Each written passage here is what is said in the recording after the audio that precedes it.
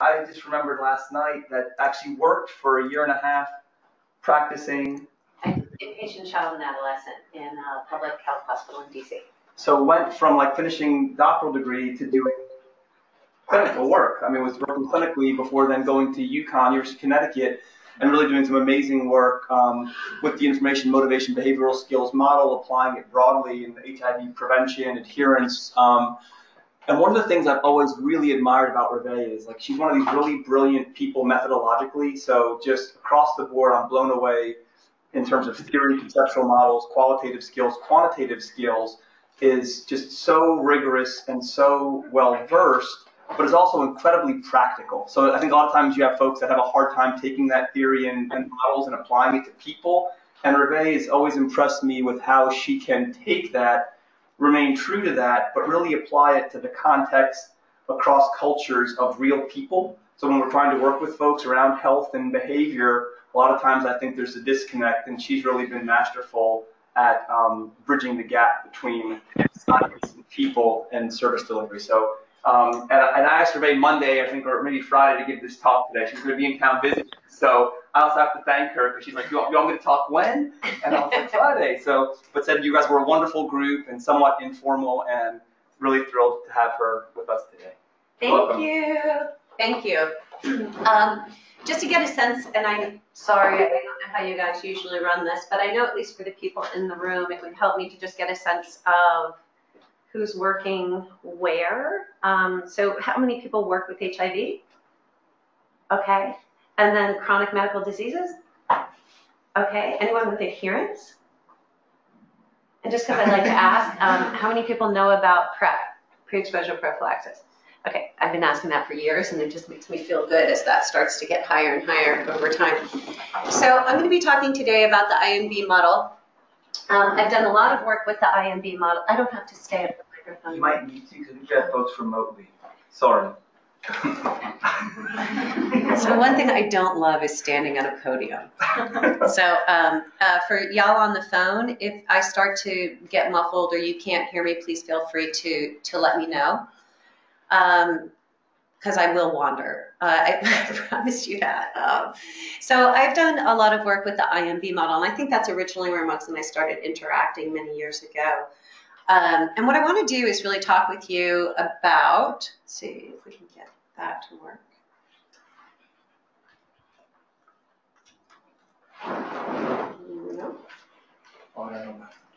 Okay, that's okay. Now I'm also using the mouse. okay, so I'd like to just touch base a little bit on HIV. Several of you are working in that area already, but I just want to kind of get us all on the same page because much of what I want to talk about is in terms of adherence. Um, and I think it applies pretty broadly across a number of different medical conditions. Um, and then also talk about my experiences in moving from kind of like a traditional model or individual model of looking at what promotes adherence to something that's a bit more broader. Um, so something that maps a bit more on kind of that social, ecological, or contextual perspective. Um, and show you a couple of intervention approaches related to each of those and really try to move pretty quickly to just a, a more open discussion around things like um, social behavioral models. Um, I know a lot of you are doing research in very different areas or expanding programs in different areas. And I think it really behooves us to think about how are we organizing our thinking uh, around those kinds of interventions. And even when we think about implementation science, how is it that these models might be able to inform us for how can we address things that maybe are a little more proximal than the actual outcome variable, but things that very much contextualize people's experiences with trying to be adherent to this or that or trying to engage in care for this or that. And I'll try to do that quickly. Um, please feel free to stop me at any time. You don't need to hold your questions to the end. My understanding is this can be very much a discussion. Okay, so in terms of ART, uh, I just want to go quickly over a couple pieces with HIV. So, you know, back in like the 80s, HIV was hands down a death sentence. It was really just a matter of time before someone's um, immune system would decompensate. and they would have an AIDS-related death. In 1996, there were, uh, well, previous to that even, there were a lot of innovations going on with different kinds of medications. They were typically high burden medications, but they were starting to figure out not a cure for HIV, but how can I slow this down? How can we control this? How can we keep the immune system a little bit more healthy? And it was in 1996 that uh, at least in the US, there was wide scale availability of antiretroviral um, therapy, or short for ART dramatic difference, right? It, it, I mean, it really has transformed this disease into something that is um, absolutely deadly. Uh, to something that is is chronic and manageable, and in fact, many people now refer to HIV as a chronic disease. If you were to get diagnosed with HIV today, um, you would be kind of informed of these few things as, as a uh, very important thing to think about as you move forward in your treatment. Well, there's no cure for HIV, right? So it involves treatment, lifelong treatment. Effective HIV treatment reduces the amount of HIV in your body fluids, right? And so there you can see like a lot of viremia flying around there. And over here, we only have a couple of viremia flying around in the blood. The recent uh, kind of discoveries along those lines is that that has tremendous impact and importance to your own functioning. So if we can keep your immune um, system protected longer and as soon as possible, it's better for the individual. The other piece is that you're not able, and I, am going to go ahead and say that, it's a little controversial. It, it would be very, very, very, very uncommon for you to transmit virus uh, to another individual if your viral load is down, controlled, durably suppressed. That tube there with just a few viremia would be considered durably suppressed. So if you don't have virus roaming around that you would be able, in your fluids, be able to transfer to someone else, you're non-infectious. And there's been several studies now, and it's being bolstered by observational studies that really drive that point home that get people durably virally suppressed and they're not going to transmit the virus. So that's a massive finding in terms of how do we end the epidemic. But in order for that to happen, uh, you need to be fairly adherent to your medications. So Another thing to keep in mind is that the call for HIV right now, uh, and others um, are, are, promoting this 90 90 90. And so that really reflects that 90% of the people living with HIV know that they have it. 90% of those um, get access to antiretrovirals or ART. 90% of those use it well enough that they're going to be suppressed. And the modeling suggests that if you're able to reach these targets, you will have a substantial reduction um, in new cases of HIV. So, and we've really done well with that, right? So in 2000, less than a million people had access to antiretrovirals. I mean, that's way less than the number that are actually needed. Um, that was bumped up in 2016 to 18.2 million, and with this 90-90-90 plan, the 2020 target is 30 million. So we're actually well on our way of making sure that people have access. It's silly to talk about adherence if you can't first assure that there's going to be access, right? What are you going to adhere to? Um, or non-adherence end up not being your fault because it's because of a stock out or not being able to get the medication. So given everything we've just said, um, there's still about 40% of people that struggle to take ART consistently, right? So even with the benefits, even with the public health benefits, there's a size, it's a minority, but there's a sizable minority that struggle for a number of different reasons. And it's important to remember that that's not special to HIV, right? So, so non-adherence is not new, right? It's been around, oh, I don't know, for the last 2,000 years. It's been around since someone started prescribing something right? Um, and over 40,000 peer-reviewed publications are available about adherence across different uh, diseases. And it's also not uncommon. So about 3.8 billion prescriptions are written every year, and it's estimated that 50%, slightly over 50%, are not filled. Uh, that's about a third of people with chronic conditions don't fill their script, and about 60% of people prescribed a medication don't take it as prescribed at some point. And it really is the number one complaint among physicians in terms of how do I control my cases? How do I really make sure that these positive health outcomes are being achieved? Not trivial. I don't think I need to tell you. Um, so, you know, 125,000 deaths in the U.S. could have been prevented uh, if adherence had been better. 69% of medically related hospital admissions related to non-adherence. Uh, it's about $290 billion a year. So regardless of who you're standing in the elevator with, you will always have a pitch to give for adherence, whether it's about um, economics, whether it's about life and quality of life, um, or just burden on the healthcare system. It's a, it's a significant factor. So, so it to say that it, I'm not sure what that was. Is that me or is that? All clinical outcomes for all patient groups um, are are affected by adherence. So I'm not going to beat that horse anymore. But um, when, when I started, a little chat bubble. They do that um, down low. Is that little chat down? The next one down lower. That little orange. Yeah. See if there's something. Okay. Great. So maybe nobody else.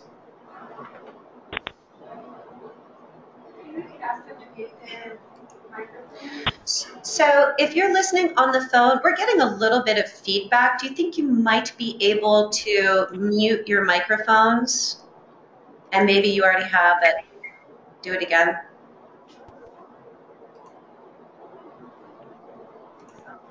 Okay, that seemed to have done it. All right, so when I started doing this research, it was of the early 2000s. Remember, I was saying that the antiretroviral uh, medications became available in the U.S. in about 96, right? And so we were thinking, um, what might be driving this non-adherence, right? And at that point, the field was really atheoretical. It was focused on correlates. It was focused on demography right? Because that was the data that was available. So we could say, oh, if you're younger, you tend to be non-adherent, or oh, women may struggle more, men may struggle more. If you're a drug user, um, someone who's injecting drugs, perhaps that's a little bit more difficult. But these were a lot of these, you know, uh, correlates, characterizations, and not really a. You're not going to develop an intervention on the basis of those kinds of things. Um, so what we wanted to do was to really apply a social behavioral perspective of health behavior to the adherence and the problems with adherence that we were seeing for HIV. The model that we developed in 2006 was an application of an information, motivation, behavioral skills model to adherence. Has anyone heard of that IMB model? Okay, so some. the reason I ask is it's been applied to numerous, numerous things because you'll see it's a very simple model. It's something that's easy to articulate and easy to use for intervention development. So it kind of has feet and has really run off in many different directions. But the basic idea of the IMB model is that the behavior that you're looking at, the health promoting behavior, is really a function of how informed someone is, how knowledgeable are they about the condition and the health behavior, um, how motivated are they, which is social and personal, and I'll talk about in a second, and how much skills do you have, right? Do you have the skills to actually be able to pull off something like taking your medication? um, taking it in a private situation, taking it in the in the kind of circumstances that you find yourself confronted with as you're trying to be adherent to a drug for a highly stigmatized condition. And then you'll see the moderating factors at the top. So the moderating factors here say that the relationships between information behavior, motivation and behavior, all of these things can be muted um, with the presence of certain moderating factors. So if I'm acutely depressed, if I'm an active injection drug user, if I am in a violent relationship, if I am, so all of these different contextual factors can kind of derail the relationships that you you would think that would be important. So information may or may not actually affect your skills or your behavior. And just put that in the back of your mind because I'm going to come back and talk about that motivation box. But otherwise, the basic idea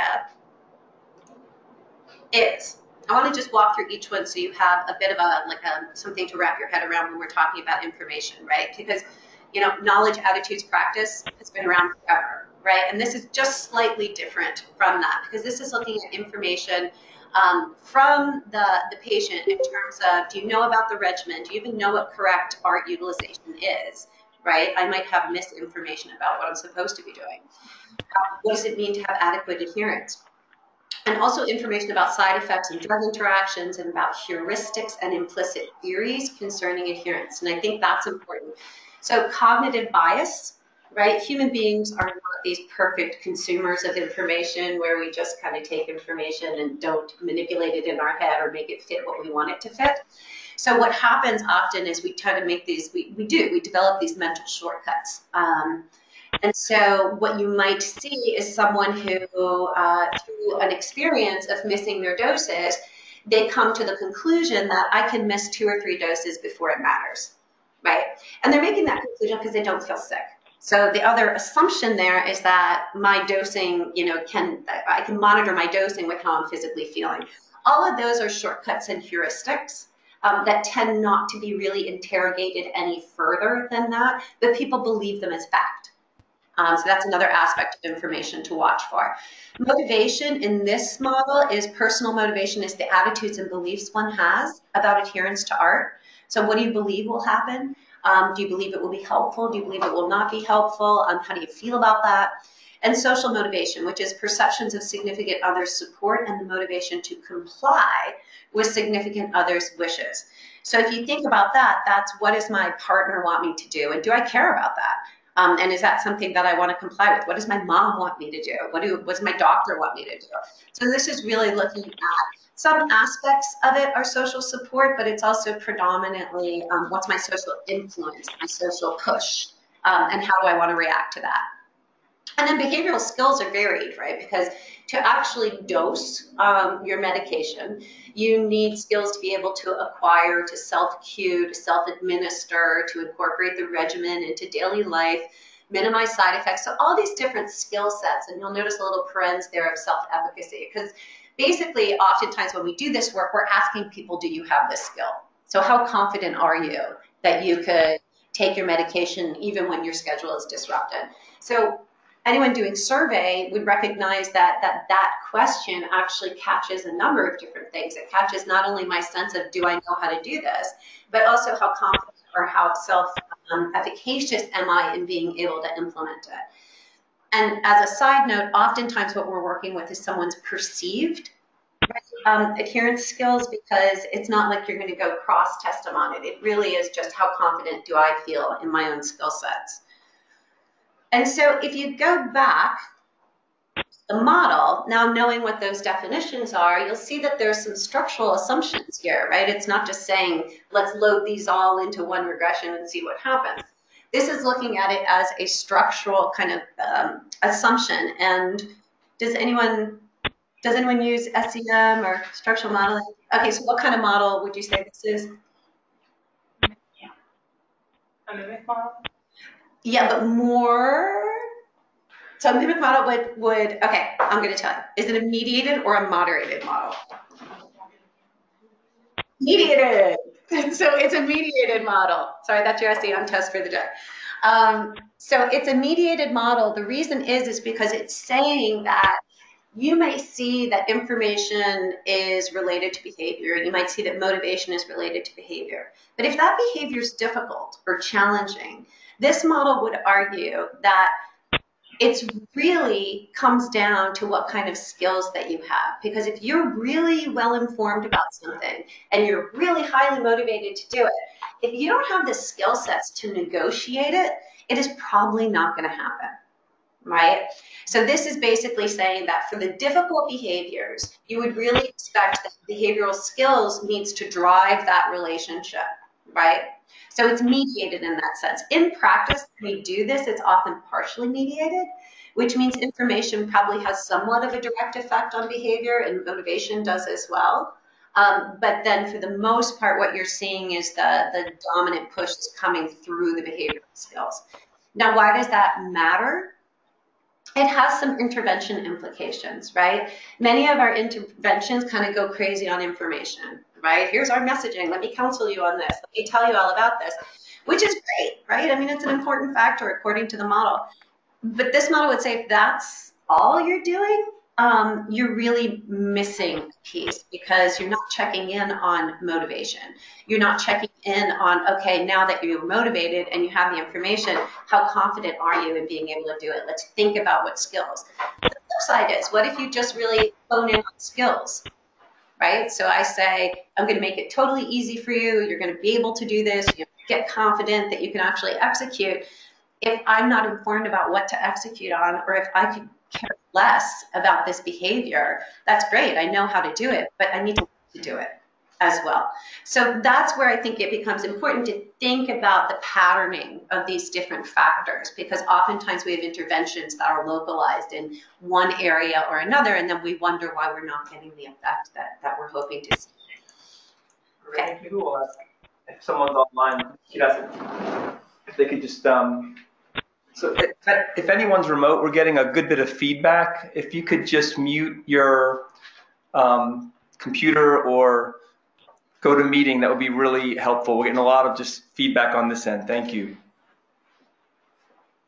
Are you guys able to hear okay? Have you been able to follow so far? Any questions so far? You guys wait? You good? Okay, all right, moving on. So I wanted to um, really complement the IMB model because one of the things that I found uh, extremely useful in that model is that, and this was from Jeff and Bill Fisher, this was before we adopted it for adherence. So this is traditional IMB model. Um, they recommend a pattern um, that you would use uh, to develop an intervention, to move from let's articulate a model to actually let's do an intervention. And because of that, it's been used really widely. I myself have done a number of different structural tests on the model, looking at cross-sectional data and running those, those SEM models, and it's generally supportive.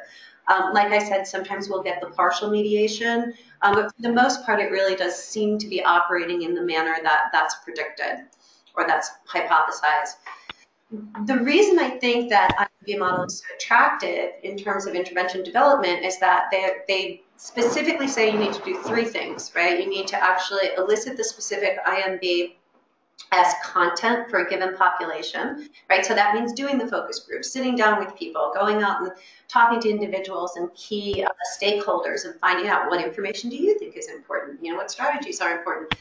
Matching those strategies, uh, you know, developing the strategies and the intervention components that will address what you found and then rigorously evaluate.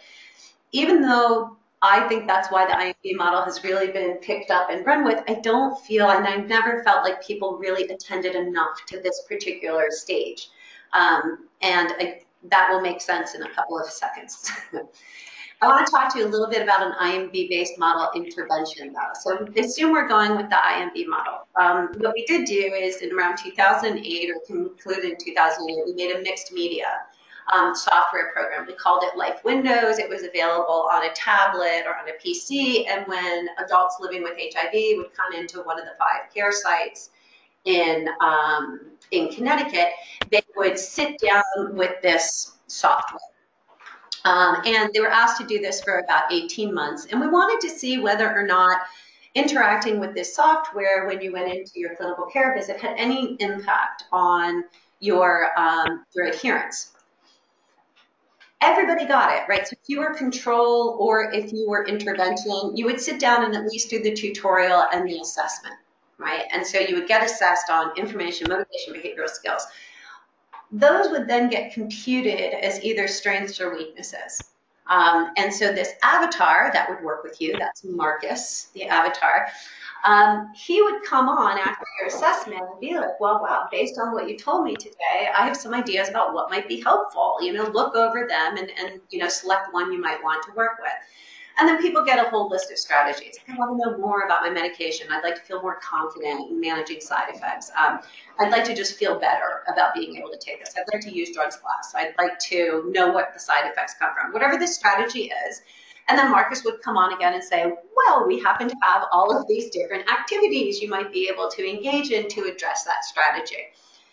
Um, so it was kind of a at the time, right? I mean, we developed this in 2006 and seven. It was it was a marvel for its time. Um, so I mean, now we'd be like, yeah, that's like an app that I have on my phone. But Okay, and so the, the kinds of intervention activities that people could do um, really range. What we wanted to do is to try to really, uh, you know, address a broad range of different learning and engagement styles. So you might have things like Felicia the pharmacist, where you could click on a question and Felicia would answer the question for you. Um, there's a, a, journey through the bloodstream, which is entirely just a video depiction of HIV, um, antiretroviral medication, and how it kind of controls your HIV.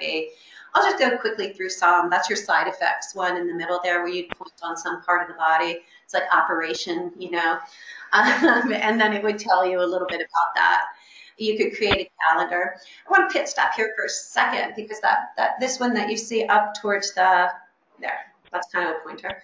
Um, positive voices. Uh, positive voices ended up having, uh, at least in terms of uh, anecdotal information as well as the time that people would spend on this intervention activity, really had a very um, lasting impact. impact. And I think it's because these were people, and lipodystrophy below it as well, but those were both approaches where we interviewed people living with HIV who were obviously willing um, to contribute to this.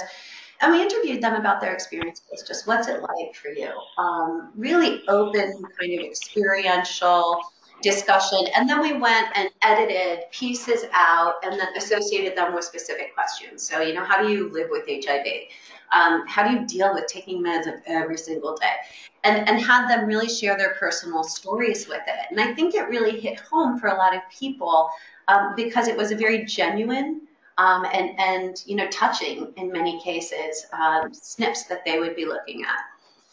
But then, of course, we also have our games and our funny stuff. So we have Bill the Pill, whose whole thing is, you know, how hard it is and what a bummer it is when you can't get into your stomach and how can you work around that. then we have the misadventures of Skips his dose, who makes like every mistake that you could possibly make when it comes to actually retaining your, your, your pills on you when you have visitors and whatnot. And we have a game. Um, that was our, our, our, only kind of gamified one is, you know, you have to like click and um, kill the virions while you're also refilling your doses and while you're also keeping, um, you know, perhaps some doses in a pocket uh, dose because you have like Lucy Nancy over there that can come in at any time and you don't want to dose in front of her. So it's this game that we're really trying to push across a lot of the concerns that people actually had. Um, but we tried to make it not too stressful. And then, of course, you know, just generally what's going on. What do you think is happening? And as a last minute thing, we actually added this certificate. And so this certificate um, could be gone to as an activity. And people put what they want on it. They put the wording, you can put different badges and stickers and whatnot. And then they hit print and they get the certificate. And, you know, we went back and forth on whether or not adults were going to find that engaging at all. And I can tell you, people wanted their certificates.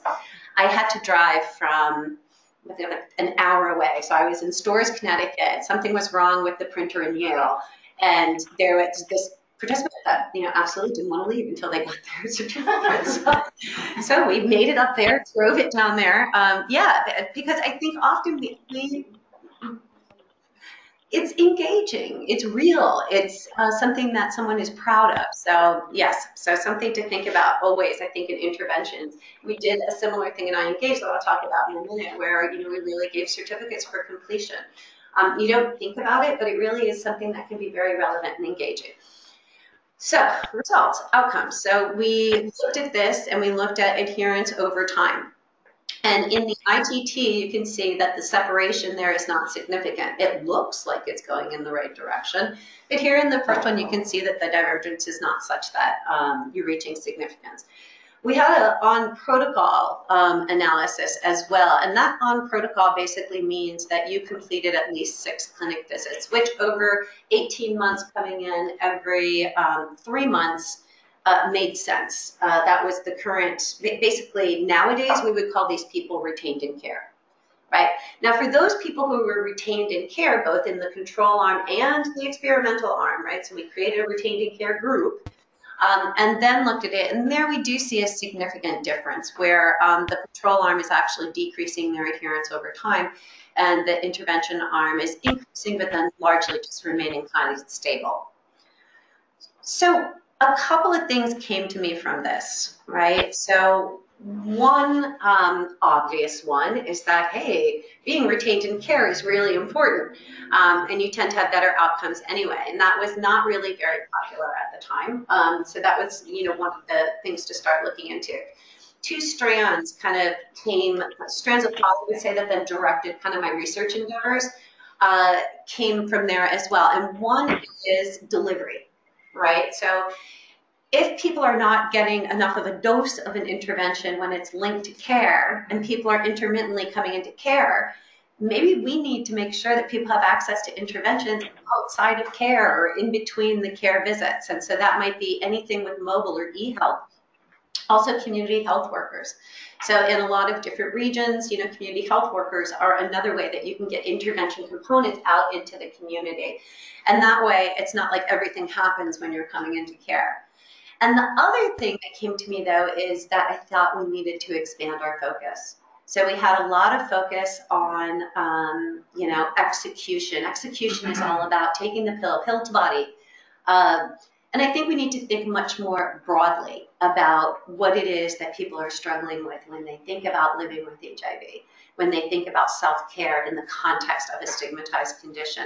And sometimes I think when we work from that IMB model, maybe it limits us a little bit to thinking a little too much on the individual scale and we'll return to both of these. Let me comment just briefly on some um, ongoing work that we have, which I'd be happy to talk to anyone about. I'm just going to go over a very broad overview, but social uh, networking website is the thing that we're working on. This is called Thrive With Me, and it is a it is a computer-based, right? So it's not an app. Uh, we started it uh, a couple of years ago. Didn't feel comfortable about the app aspect, so it's something that someone would go to online but essentially, we tried to mimic uh, we tried to mimic a social website, meaning uh, we let people actually post to the board, which was very controversial at the time. Um, at the time, there was a lot of concern that if you let people just post unmoderated to the wall, um, that people are going to go crazy. They're going to, you know, really like shun each other. They're going to set up dates with each other. They're going to you know, it's just not going to be used the way that, that we really want it to be used as part of an intervention. And we did not find that um, actually at all. In, in the Thrive With Me with uh, Keith Horvath at University of Minnesota, um, a lot of the posts, and we just uh, did a summary of the posts actually. I think I no, I didn't. Um, so we just did a summary of the posts and presented it. But uh, when you looked at like the kinds of posts that were going on, they were very equivalent to what you would see in like a social media or Facebook or um, that kind of thing, where they were typically social support um, and uh, and mundane. You know? Yeah. Did you have a few people that you like planted to start the post off to get the tone direction you wanted it, or So- did you just open it up and let it roll? We had uh, clearly identified team members Okay. um, that were allowed to post in. So that's exactly what we did. So it would be that it, we would clearly be from the Thrive team and be like, hey, what's going on with da da da, and just to see if we could get it. And so we did prime it, um, but we didn't want to prime it up here. Like we didn't want to be working in the background. Like we wanted it to be clearly like, hey, up front, um, this is me. What do you think about this? Um, the other pieces though that, that came out were things like I'm going to the gym today. Hey, I lost five pounds. Um, I am trying this new diet. What do you guys think? Um, so it was very interesting that it ended up being used, I think, very much like a social networking site would be used. Um, so we were that, that actually is still in progress. We have another year before we have the final data to be able to look at that, and that's predominantly uh, working with folks on the East Coast and is with MSM, living with HIV. We recently adapted it for the new ATN network, which is the Adolescent Trials Network, um, and we're adapting it for youth and to be used as an app. Um, so we're really excited about that. That's youth living with HIV who are viremic. So this is looking at how can we really help them to to um, to try to control their HIV uh, using you know uh, mediums and modalities that are much more common to them, right? A little more foreign for me. So the other thing that we've done is looking at peers and texting. Uh, just to support newly diagnosed MSM in China. And this was part of um, Sten work that he did as an MP3 in China. And this was in Beijing. And what we did was we linked newly diagnosed MSM to peers. Uh, so when they came, we kind of did both. When they came into clinic, they met with peers. Um, and we did kind of uh, IMB model-based counseling, uh, a little bit of motivational interviewing. But then when they left, they also followed up with them um, on calls, asking if they needed anything. And that would be more like um, one of our colleagues, Richard Lester, had developed a program in Kenya where he called or text. People were text once a week. Are you okay? You doing all right? And if they text back, yes, everything's fine, done. If they text back, no, I need someone to talk to, a nurse from the clinic would, would outreach to that person. His work in Kenya actually um, was very significant on improving virologic suppression, simply by doing that. Um, so we layered that on to this project as a way to kind of cover the gaps in between care when people show up. And we're looking at the results on virologic suppression. I want to just share a little bit of like what it is to actually do research in the real world. And this, the guidelines around the world changed for when people should start antiretroviral medication. Remember I said one of the big findings has been that, wow, if you start early, not only are you better, not only are you, um, does your immune system really keep its integrity longer, but you're also non-infectious. It led to a call for countries around the world to change criteria, which previously had that you had to be, you know, somewhat sick before you started antiretroviral therapy. It was in some ways a way to manage kind of the distribution of therapy. So you had to have values um, in your CD4s that would suggest that you're starting to really be compromised. That all changed to nope, get people started, get people started as quickly as possible. This project that we did, one of the main outcomes was time to ART start. So we wanted to really reduce the amount of time it would take for um, newly diagnosed MSM to get on antiretroviral therapy. That change in government policy basically killed that outcome, right? Because the, the standard of care, the control that we were against was, oh, it's going to take a really long time to get on antiretroviral therapy. And so we were thinking that the people that we'd be working with, we would be able to facilitate, to capacitate, to advocate to get on antiretroviral therapy earlier, and we wouldn't lose them in the process because a lot of people drop out of care. So real world kind of thing, I think happens more than um, we'd like, and it's actually a good thing, right? So it's, it's, a great improvement to the public health policy. At the same time, you're really racing to change your, your protocol endpoints. Um, true story, so I don't know how the results are going to actually come out on that one. Um, and then I did want to also note some work that we do in Uganda. This is with uh, Larry Chang over at Johns Hopkins, um, because that also uses the IMB model, but in a very interesting way. So his work is in uh, where there's a very high, uh, I think the prevalence of HIV is like 44%. It's, it's really um, quite everywhere. It's on the edge of uh, Lake Victoria, fishing village. And so what he wanted to do was to train community health scouts. So these would be these would be individuals that live in this community um, that the community would elect or identify as being really good health scouts. So we would then train them in order to really facilitate their ability to implement, you know, good practice. Uh, this is prevention and counseling. Um, they developed a cell phone, uh, an app version, a smartphone version of uh, this IMB model. So you would go through and ask a series of questions with your household that you're meeting with. The phone would help you with what's the next step going to be right?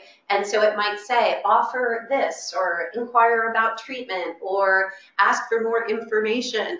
And so basically, this uh, this is a team. I go out at least once a year to train and retrain um, with the community health scouts.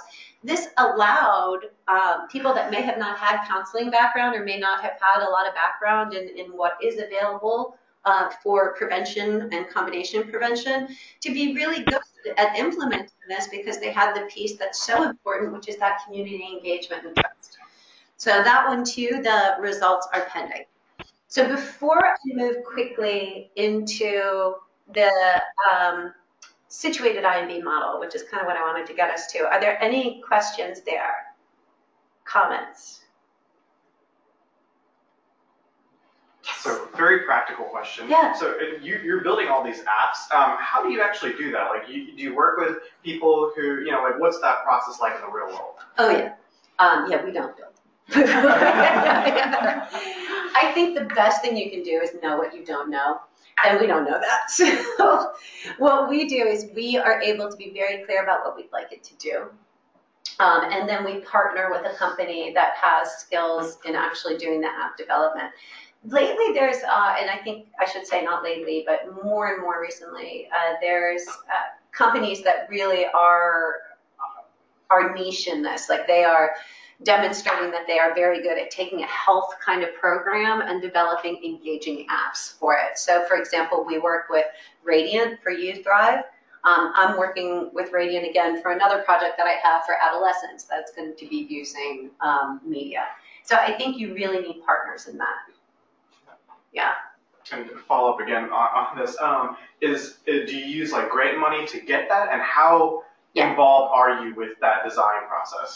You, uh, I personally am pretty involved because I'm, I mean, I'm not an interventionist, but I'm pretty close to an interventionist. So I want to be very involved um, with with what's the user interface, how's that going to look. Um, the company that we work with, which is grant funded, because how else are you going to fund it? So you could either try to get foundational funding or internal funding, but I'll I'll build it into my NIH grant that you know phase one develop app, or maybe you go with a smaller grant just to kind of pilot an app the um, reason that I'm involved, and so the, the way it works, and I think this is pretty common throughout, is that they will follow their model, which is a, a design-based model. So they have sprints, they have, you know, their kind of team meetings that are to develop, you know, X for the program, and then they come around and share that with us. Then they leave us alone again and go and do their own thing and then come back again. I think I think you're involved, but only in the parts where you can actually help with, because I think if it's a full team thing, it'll never get done. All right. So it's it's fun. I actually really enjoy it. I, th- I think it's a very cool. Um, it's a very cool intersection, right, between what you can offer because you know your patients, you know how people interact, you know what might be important, and then what they offer, which is this whole world of user interface, engagement, um, and those kinds of things. So I want to talk a little bit about the situated model. So remember one of the other things that, that kind of hit me after working with the Life Windows project was that um, maybe we need to be looking at engagement, right? Not just like, am I consuming a pill, but given that that's part of like a much larger self-care spectrum, maybe we need to be thinking more broadly. So I started thinking about what would an IMB model look like if we were talking about engagement and care. And I really struggled with that moderator box. So remember I talked earlier about how, you know, if you're depressed, if you're a drug user, if you're an IPV, if you're, you know, whatever it is, that that would, like that would somehow kind of put you off to the side. When we're talking about engagement and care for HIV and for other marginalized populations, that is life. Like that, that moderator box is exactly how it is that you need to negotiate care. So I was increasingly disenchanted with the moderator box because I don't want to put everyone I work with off to the side. I want a model and an intervention that works exactly in those situations. And so in developing a model to address engagement and care, I, I had to I had to do some changes. Um, and so what I proposed was a situated model. And I'm using the term situated here to say that even though I might be working with an individual on their knowledge and you know misinformation and their social and personal motivation and skills, that I have to think about it as being nested and having branches in all of the different layers that actually influence this behavior, that influence life on a daily basis. So, uh, folks familiar with the social ecological model? Yeah. So I think people love the social ecological model because it makes sense. it's always nice. Um, but also it really forces people to think about context. What it doesn't do though is it doesn't really talk about the intersections between these. So it says, you know, hey, think about things at this level, but it doesn't really help you to kind of glue it all together and think about, okay, well now how do I work with all of this? So what I wanted to do is to develop a situ model, an IMB model that's actually situated within this larger social ecological context. So what does that actually mean? I mean, what it means essentially is that we're still interested in information, motivation, and skills, but the kinds of information we are interested in is not just about disease. It's about information that would span all of these areas. So are you informed about your rights? As a patient? Are you informed about someone not being able to share your HIV status? Are you informed about your uh, ability to, you know, get care privately? Um, so all of these kind of factors, really thinking about uh, the content. So we can say information is important, but what kind of information is important depends on the population you're working with and specifically in terms of how these factors are articulated in relation to the health condition in relation to the context in which the person lives. Does that make sense? Okay. I guess that would be kind of hard to be like the one person being like, no, no, no, it really doesn't. You need to back up. okay, so let me talk to you a little bit about this. So I also changed some of the ways in which the constructs are articulated, right? So for information, and this is, uh, this is looking at a situated IMB model for engagement in care for chronic medical conditions. So think broadly here.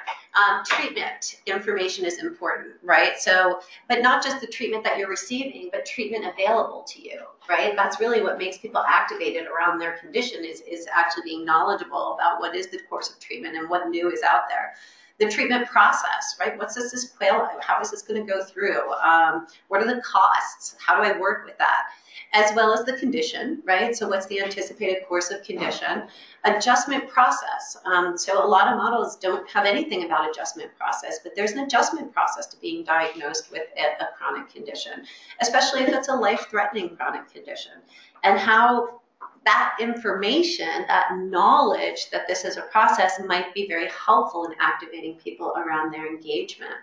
And then also just knowing about the system of care. So again, very much beyond do you know about your medication and the regimen. It's really talking about how much do you know about this whole system you're about to enter.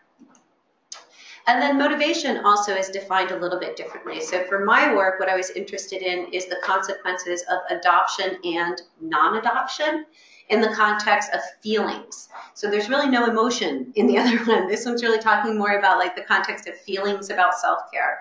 What's, what's your affective kind of response to treatment priorities and demands, um, as well as lack of resources. So it's not enough in my mind to ask about, you know, why do you want to do this? right? I mean, the, the, classic medical dimension is, you know, here are all the reasons why you should adopt this health behavior and all of the reasons why this one that you're doing right now is really, really bad. But it's important to think about the pros and cons of everything. So there are pros to me, uh, you know, not stopping drinking. So you want me to be abstinent from alcohol? I'm sure there's benefits to it, but in my life, I have benefits to sticking with it. And oftentimes we don't engage people in that conversation and we miss a whole side of what the factors are.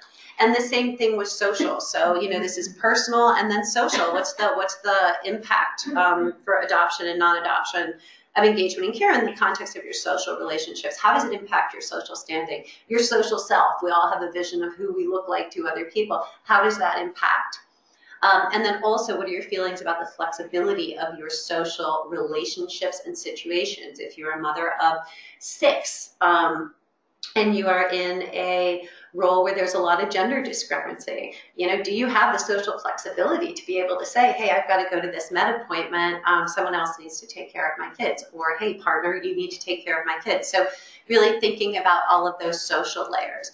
And then behavioral skills. I'm not going to read through each one, but suffice it to say that we organize things in terms of systems navigation skills, functional skills. Um, so this is literally how do I get there? Um, you know, how do I cover my transport?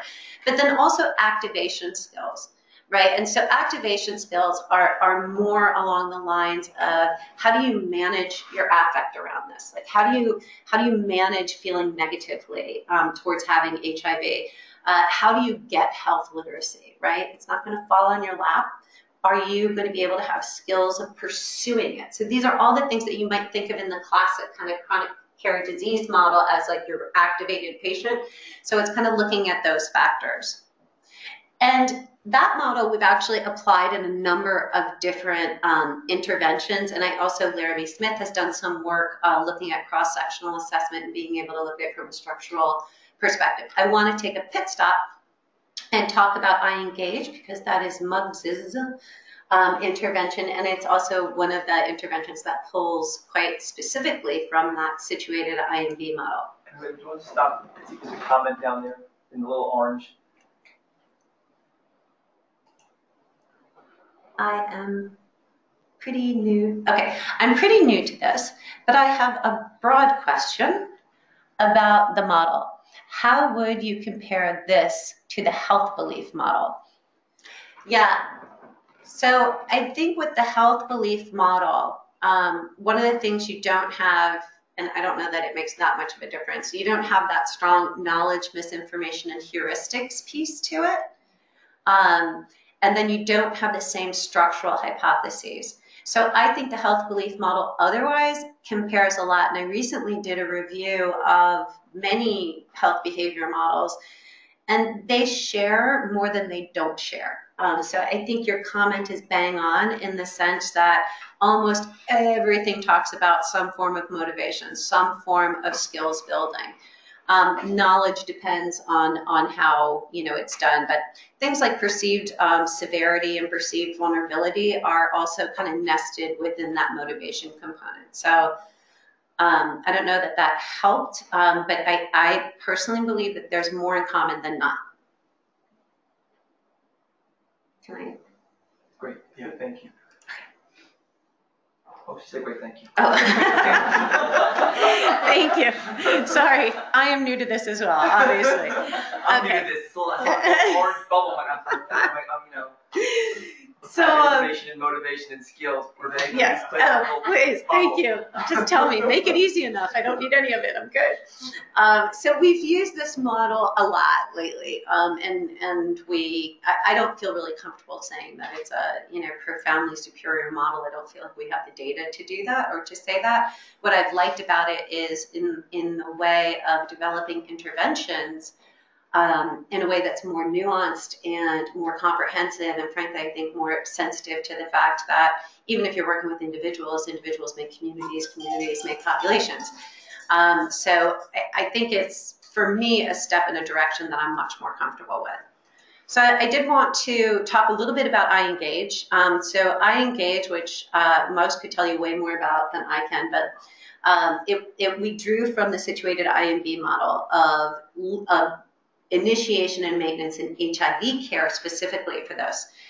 And this approach um, tries to engage uh, people who are new to care. Um, so they're just starting at your particular care site.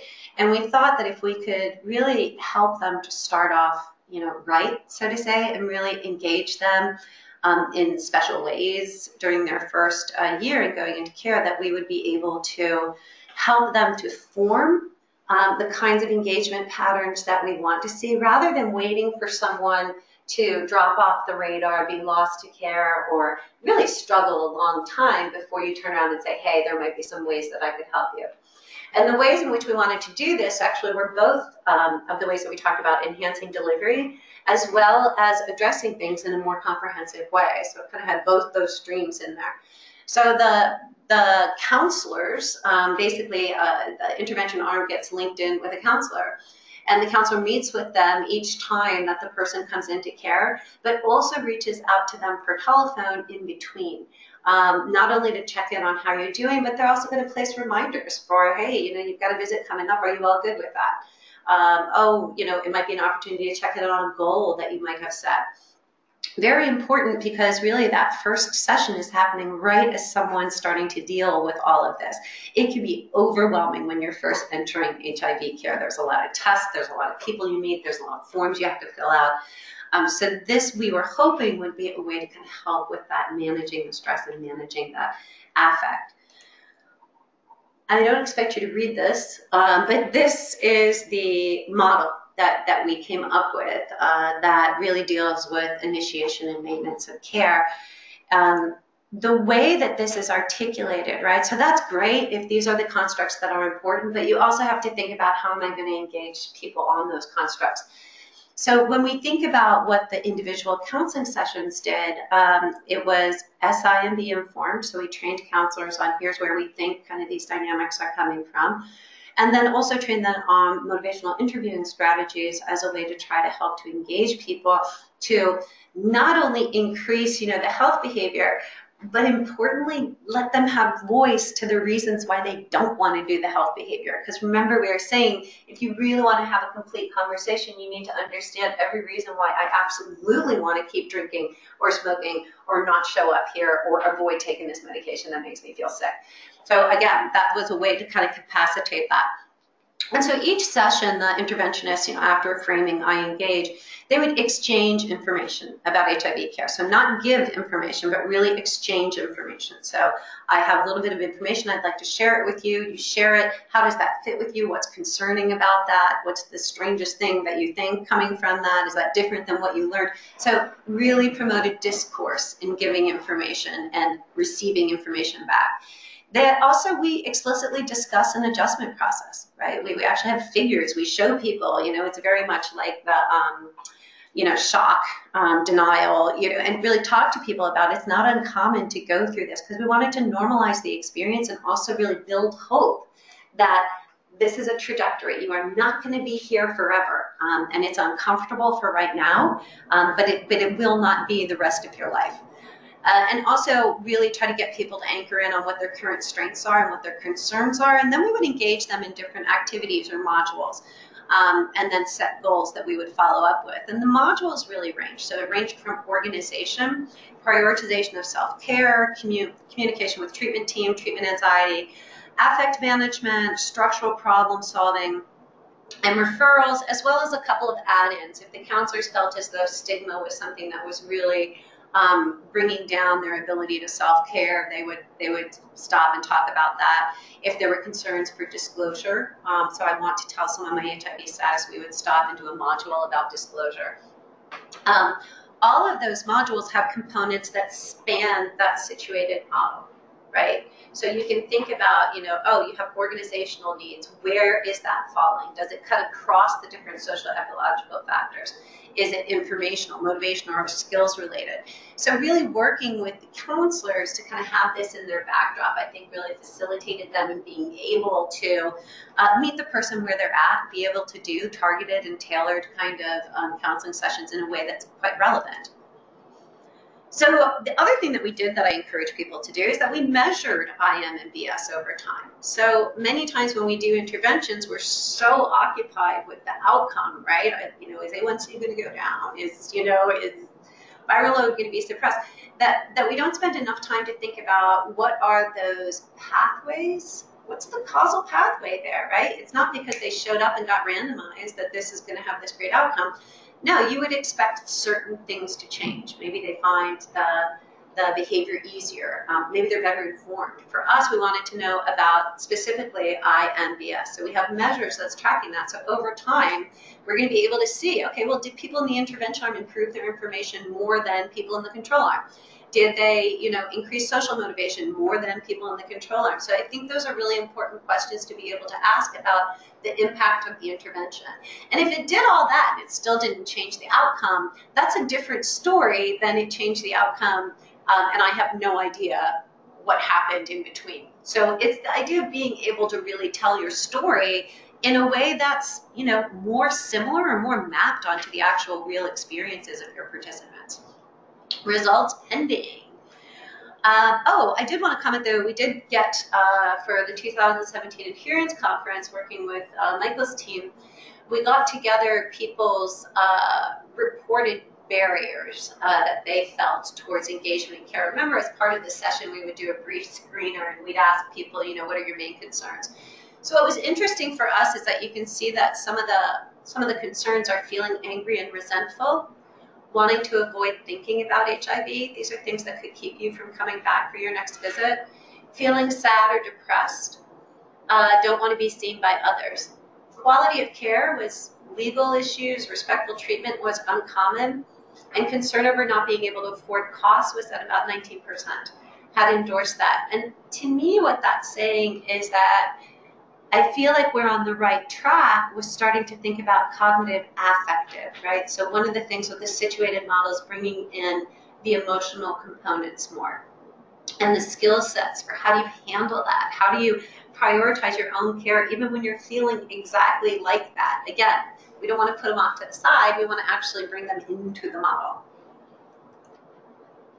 All right, I've talked a lot.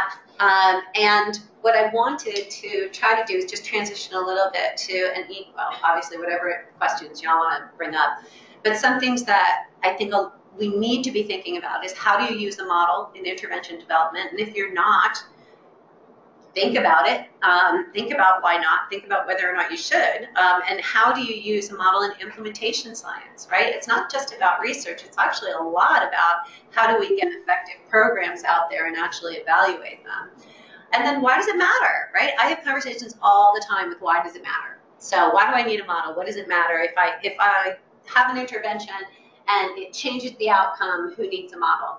And I just like having that debate um, because I think there's different ways that you can think about it. Um, but be ready for that because if you do adopt a model, undoubtedly someone will ask you, why do you need a model? Um, and then what models do you use, right? There's so many different models and ideas out there. You know, how do you pick? What makes sense? And just what are the greatest challenges in mapping out causal and contextual pathways to a given outcome? So that means we all have working models not all of us articulate it, but we all have working models about why it is that someone's choosing to do this. It's for everything. It's not just adherence. Um, it's how we work. Um, so the challenge is to really articulate it, to sit down in your group and to really think about, okay, well, you know, we're working with diabetes, we're working with people not showing up or, uh, you know, failing to adhere to medication or not doing the glucose tests. Why? Like in our population, why? And you can kind of go back to that social ecological, you can go back to that SIMB model and really try to just brainstorm. Um, sometimes that's the beginning of what your focus group is going to be. You can find out more. Okay, so I will stop and be quiet and go back to the questions.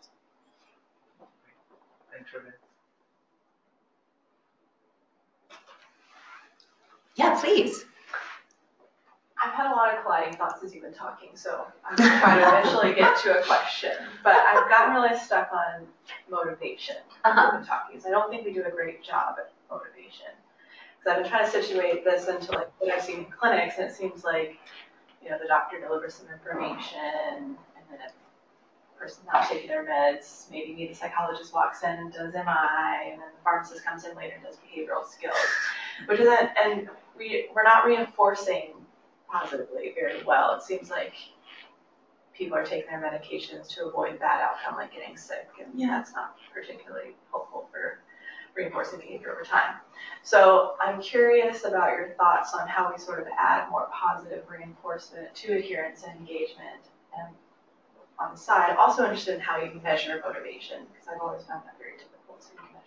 Yeah, um, so let's tackle first part. So we do have a number of different approaches um, that we use and different trials. I mean, a lot of them actually developed around PrEP or pre-exposure prophylaxis for me, just because that's what I've been working on lately. And um, those approaches very much focus on establishing facilitators, barriers, needs.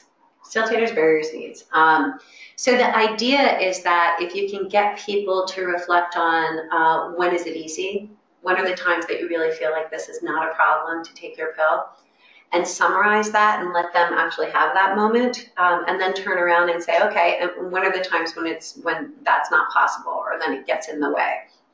What do you think needs to happen? For you to feel more comfortable, you know, taking the pill when your wife is late coming home. So it's the idea of not asking this general, like, well, what needs to happen for you to be adherent, but, but actually having a moment to talk about here's when it goes well, here's when it's challenging, right?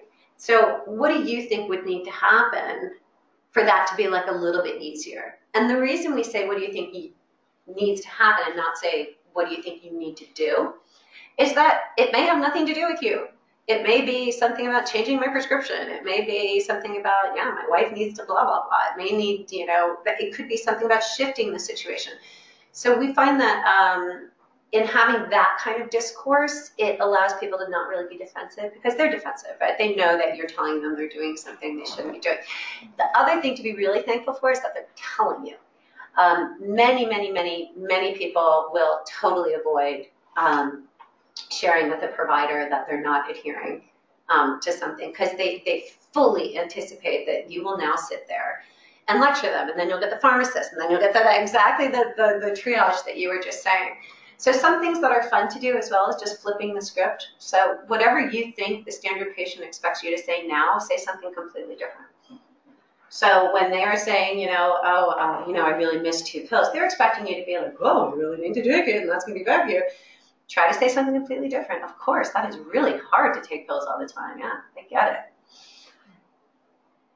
you don't walk out of the room at that point, right? Because that would be bad. That would be like, oh, Dr. So-and-so said I should only take two pills. But you, you stay there for a second and let them actually feel like uh, you understand where they're coming from. Um, so there's a lot of different things you can do to, to change it up. Hardest thing though, you need to want to, um, and you need to, you know, kind of get the folks behind you uh, where you're working to, to adopt it as an alternative. Happy to send you material if you want to go champion that. Um, and but just think about so just thinking about this interprofessional. One of the cool things about our group is we're interprofessional. So you've got folks that are psychologists, social workers, nurses, physicians, pharmacists, and do you know of thinking about this idea of motivation, whether it's personal or social? Like it is so different for each individual, mm-hmm. and sometimes it's I've got young children and I want to see them graduate from high school. You know, so whatever that right. motivator is, and it might be that one person on the care team uncovers that. I'm wondering, I mean, do you know of situations where people have tried to then make sure identifying what are the key motivators um, and sharing them across a care team? So I'm thinking like maybe you know maybe you Kaylee have the you know you you got this nugget of information, but then Anthony goes in as the social worker and doesn't have that same nugget. So in terms of reinforcing, like for this person, right? Probably the motivator is not to achieve viral suppression. Like that's our goal, but right. you know, it probably isn't what someone's saying. This is why I'm taking my medicine because I really, really want to achieve viral suppression. And so, you know, um, um, so I'm just wondering, I mean, if you know, when we've been able to unpack that, you know, right. we've had do some intervention or translating into practice, because care is so interprofessional, you know, have there been folks that have tried to say, once we have this, how do we share it so it's not just the peer mentor or the outreach worker, but everyone on the care team right. that can give reinforcing messages that for this person one at a time, this Yeah. is what really is motivating them for whatever that health Right, behavior might be. Right. So for, and just to comment on that, um, you don't want seven people giving the same message, right? I mean, it, it, it will lose its impact. So if you have like six people kind of being in like, oh, great job. Oh, great job. You want to see your kids graduate? You want to see your kids graduate? You, you definitely don't want that. That being said, of the people that that's important to, for example, say you are handing off to the provider, you're handing off to the social worker, um, I would very explicitly say it of like, oh, God, you should tell them about what you were just telling me about, you know, John's 11th grade, da, da, da. That way it's extremely overt, right? And it's something that uh, doesn't, I'm going to use the word triangulate, but the more overt your care team can be in sharing information um, appropriately in front of the client, the more they are going to see you as a team um, as opposed to, you know, thinking that, oh gosh, I just told that to Muggs. I didn't want him to tell anyone else. Now he just told it. And it's like they're all going around talking about it. So, I mean, just to be cautious about those kinds of things. You had, you had another question though. How do you measure motivation? How do you measure motivation? So, um, there's many different measures of motivation. All, almost all, if not all, are self-report, um, and that's where you get into your stickiness. So, um, so these are items that really are your standard um, you know, I believe or I feel good about my antiretroviral meds. Um, I feel good about coming into care. Um, coming into care is frustrating and bothersome to me. That's your balance, right? Your positive, negative um, gut response to it. Um, but the other piece is, and it's the standard surveys, um, there's not one standard survey, right? So we've used an IMB measure of motivation over and over again doesn't mean it's perfect. No, um, we will never be resourced to make that like you know MOPS or DAST or CAGE or any of these other measures that have like bajillion different respondents and weighted and we will not be able to do that. However, um, I do think our measures get pretty close in general. Where I will say I do not think that they get closed is in situations where you are collecting that data and people believe that you are using that data um, for some undisclosed purposes. So some of the work that we've done in uh, Cape Town, for example, with pre-exposure prophylaxis with women who are participating in trials, they were really worried about getting kicked out of the study, right? I mean, you know, they, they were pretty sure that if they didn't look perfect, um, that they would get kicked out of the study, not get the benefits of the study, which were many, right? So in that case, I think it's it's you will get garbage um, because it's easy to play it. It's not like it has a lie scale. It's not like um, there's a way to see if someone's got too much self-presentation going. So it's very overt. So, but in my experience, you can measure it, um, barring those And and for, and for IMB and SIMB specifically, there are two instruments, you know, with multiple items mapping to information, motivation, and skills specific to adherence. And I don't know, Renee, how much the adherence has been has been adapted outside of HIV adherence. You know, could, could it map to motivation for diabetes or hypertension or other? Oh, yeah, yeah, yeah. Right. Yeah, so there's, same- yeah, there's IMB models for uh, diabetes. So um, Chandra Osborn um, had developed, we have IMB models for sweetened beverage consumption. And then also I then, and then also, yeah, and to your point though, then also then having that, the, the measure, because I think that was one of the neat things, you know, working with Gervais, is like, is- we have this model, we have these outcomes, but we really want to have some way of determining, you know, if it is working through this pathway, and if so, how much differentiation in information, motivation, skills were observed in intervention versus control arm, and explaining what Yeah. outcomes we do or, or do not see, equally important, you know, um, Right. in a negative study. And we, um, we've had that experience. You can look in the literature of, of that experience of people running these IMB or Anderson behavioral model or health belief model or whatever model. Um, and then you get right to like the intervention outcomes, and there's never, to me, a, a much investment in unpacking. Um, so if it's effective, cool. Is it effective because of the way you thought it was going to be effective? Because if it wasn't, what else is going on there? Because that's going to matter. If that becomes policy, if that's going to get generalized, and all of the factors you thought were causing it were not causing it, how do we know what we're generalizing here? Um, or, you know, is it particularly weighted in one direction or another? Well, people really changed in motivation, but it didn't seem to have an effect. Then we need to think about are we targeting kind of the right things um, in our intervention? So, to me, for the science to advance in any kind of a systematic manner, um, it really behooves us to think about what are these causal pathways because when we don't, all we end up are with these packages. And as you know, many times, when packages go to different communities, they don't work um, for a lot of reasons, but that might be one of them. if I could just make a comment or just to make sure I've got it right, because I've been working with you for years.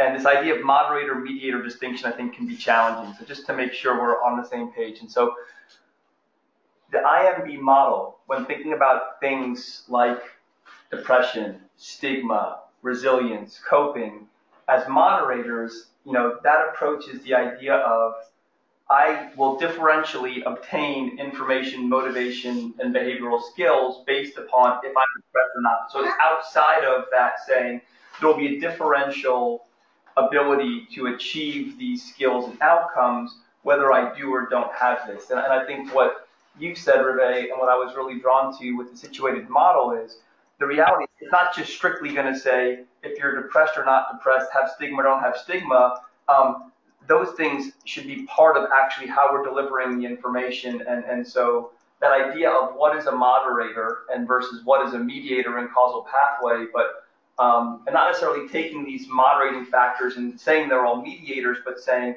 I need to deliver this content in the context of the fact that someone is living with. So I think everyone got that. It took me a little while to get that. Um, so you guys are smarter than me, but I think that was a really key distinction for me clinically saying it doesn't resonate to say this is going to, you know, you have some sort of interaction effect based upon these. This is who I'm seeing, as you said so nicely. So that I think was a really tremendous advance with the situated model because people are people and people have a lot of these moderating factors in their lives. So I think that was a really important, you know, um, adaptation that really, for me, clinically has has really resonated. Yeah, I think um, when you work with marginalized populations, right, which, which we do, or lower resourced populations, stigmatized populations, um, you know, I think, I, I, think we absolutely have to be thinking about things in a more complex way. Um, cause it's not simple, right? Is there an application for this for the work that you do? I know you all work in very diverse areas. I mean, where does, where does your working model of why it is that you're seeing what you're seeing in your particular area, where does that fit? Where does it come from? I think for me, um, when you shifted from like the medication adherence to engagement, Mhm. engagement is so global and I feel like so relevant. I mean, even for me, so I'm doing research in palliative care. Yeah. And so even in developing an intervention tailored for my population, which is in liver disease, I Mm. think like, en- I mean, a lot of times some of the issues we have is why aren't people getting palliative care? And so this is very helpful globally, I think, just to think about, you know, all the different factors that play into it. Yeah. And I do think it starts at the table, right? I mean, so so I think realistically, I don't know if it's the best way that this happens, but um, but it starts really thinking of if you're familiar with the literature, you're familiar with some of the outcomes, you're familiar with some of the correlates, right, that you see with whatever outcome you're looking at. And to really start unpacking it, but then getting into the community and, and thinking about does this resonate with you? What else would you put on there? Some of the things that I actually just did, I just gave a workshop in um, San Francisco for a group that is going to be implementing PrEP um, in transgender populations, so transgender men and women. And we actually, I created a blank of this. I mean, so we had talked about it, but then I went back and created a blank of um, all of these factors running through the social ecological model, just list, and we broke up into groups and actually filled out the lists of, oh, information. Information was right next to the social ecological model. What do you think is important here for transgendered women in accessing PrEP? We separated it for PrEP uptake and PrEP adherence. Um, and it was a really useful exercise uh, just to see kind of the things that the community called out as being most relevant with motivation or what kind of social challenges are going to be there, as well as reasons to avoid um, wanting to take PrEP or avoid adherence. Final questions or comments? No? Renee, thanks so much. Thank you for having me. Thanks.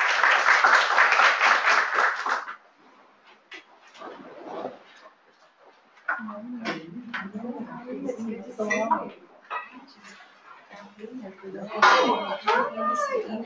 nice to meet you. Nice to meet you. I was told to track you. I will look into that. That's okay. Oh my gosh. I can see where that was. I need to see the in my best. One of the reasons I wanted to talk about personal was um, to Okay. CTS guidelines. Yeah, Yeah, I don't know. yeah, I'm, I'm, PDF form? yeah, how do I, Yes, I can. do you have a USB? You want me to just send it to you? I, I could run upstairs and get my Bible. I think I have to be somewhere No, no, at it's fine. nine I can thirty. reach out to you by Do you email. have your call? Do it. I will. Do an I will email and you. I will, I'm totally fine sharing my slides with you. Absolutely. No, I can follow up. So, so these are notes that like, like. Well, yeah, I'd be happy to. I'd be happy to. I really, I'm just gonna talk. Oh, no, no, no, no. These are just. Single That's why I was like, this I'm like, I'm Thank I'm like, you. I don't ever look at this again, this I'm like. Yeah, I did just say. Yeah, but I. Like. I'm I'm curious about like different, the outcomes. Yeah, it's like a million right, like, saying, it's like, I can go to, oh, you can do that, patient, you're gonna go on, like, Right? put it out